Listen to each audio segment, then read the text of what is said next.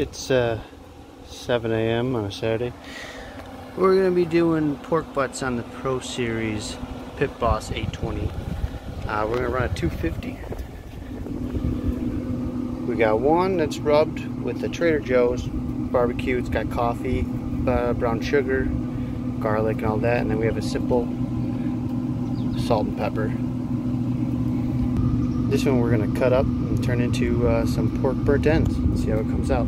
See you guys in a few hours. All right, we're sitting at 160. So let's go ahead and take a look and get these bad boys wrapped. Oh yeah, looking good. Good color.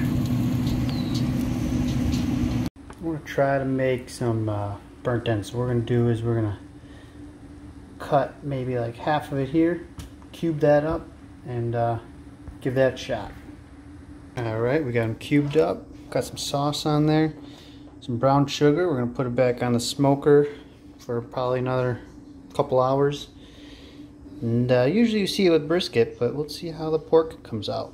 We got the burnt ends going there. We got a full shoulder ready to be, gonna be shredded. And then we're gonna shred the other half of that one.